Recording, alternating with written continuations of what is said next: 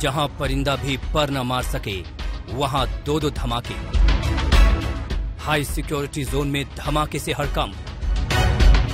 Drone से air force station में गिराए गए विस्फोटक।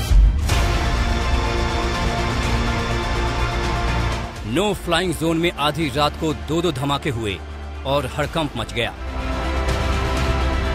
जम्मू एयरपोर्ट के करीब एयरफोर्स स्टेशन के अंदर हुए ब्लास्ट के सबूत सामने आए हैं। जम्मू हवाई अड्डे के तकनीकी क्षेत्र में कल मध्य रात्रि के बाद, एक के बाद एक जो है दो धमाके हुए।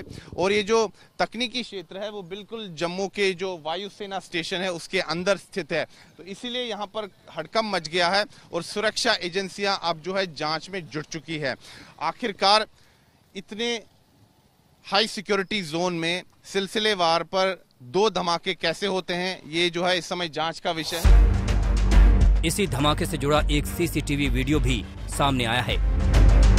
देर रात एक बजकर सैंतीस मिनट पर एयरफोर्स स्टेशन के अंदर विस्फोटक एक इमारत की छत पर गिरा। ठीक पाँच मिनट बाद यानी एक बजकर बयालीस मिनट पर दूसरा धमाका होता है, लेकिन उसका लोकेशन इमारत से थोड़ी दूरी पर है। इस धमाके में ड्रोन के इस्तेमाल और आतंकी एंगल से जाँच शुरू हो चुकी है। दरअसल इमारत की छत पर विस्फोटक गिरा है। इसी वजह से ड्रोन या एयर बलून की थियरी पर शक गहरा हो जाता है। वायुसेना जो बयान जारी किया है, उस बयान के अनुसार ये लो इंटेंसिटी के जो है दो धमाके थे, लेकिन ये धमाके कैसे हुए, किसने करवाए, ये सभी अभी जो है जाँच का विषय है। लेकिन रिपोर्टें जो आ रही हैं कि ये ड्रोन के ज़रिए हमला हुआ है, लेकिन वायुसेना और रक्षा प्रवक्ता ने इसका पूरी तरह से अभी कहा है, पत्रकारों को कहा है कि अभी इस पर इतनी जल्दी किसी कंक्लूजन पर नहीं आना चाहिए। जाँच का विषय है।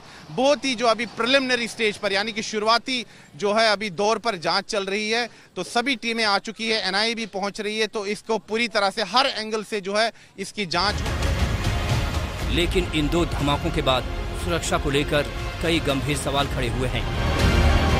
सबसे अहम सवाल कि यह धमाका कैसे किया गया? दूसरा सवाल कि इन दो धमाकों को किसने अंजाम दिया? तीसरा सवाल है कि धमाके में कैसा विस्फोटक इस्तेमाल किया गया? चौथा सवाल यह है कि नो फ्लाइंग जोन में इतनी बड़ी वारदात कैसे हो गई? तमाम सवालों के जवाब अभी आने बाकी हैं।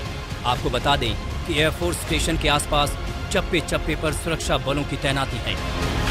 एनआईए, एयरफोर्स एनएसजी समेत कई एजेंसियाँ हर सवाल का जवाब खोजने में जुटी हैं। तफ्तीश के बीच एयरफोर्स ने अम्बाला पठानकोट और अवंतीपुरा एयरफोर्स स्टेशन को भी हाई अलर्ट कर दिया गया है।